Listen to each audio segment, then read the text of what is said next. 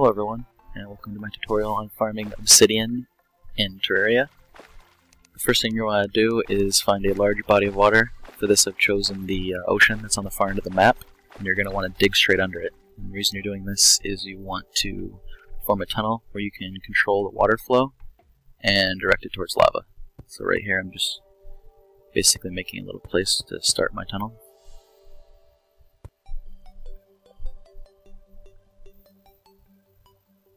Go for a little air. Alright. And now I'm just digging straight down. You're just going to keep doing this until you reach the layer that has lava.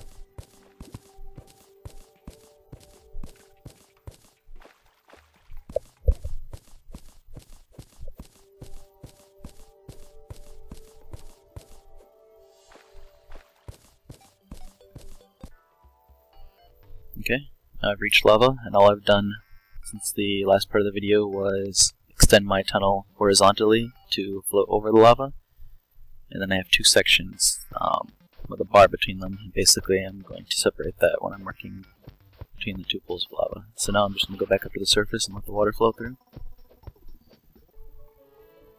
Alright, uh, back to the surface. I'm just going to let some water flood my tunnel and fill those uh, floodgates that I made so that I can let the water meet the lava to create obsidian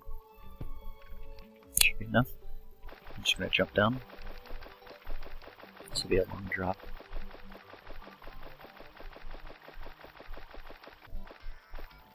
Okay, and now I'm at the bottom of the tunnel I made. And as you can see, the water has floated all the way down to full of lava, and there's now obsidian. I'm just gonna make a little hole so I can breathe and take care of this slime. And I'm gonna start mining the obsidian. That's all there really is to it. Um, the nice thing about these gates is you can continue using them once you've uh, collected your initial pool. Um, all you have to do is keep moving horizontally looking for pools of lava under you. I find the best approach is to try to meet the uh, lava from the top, so have the water pour straight down on the lava.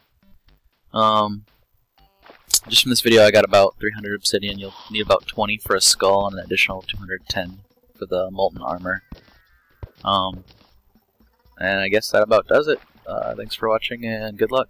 Feel free to leave any comments uh, below.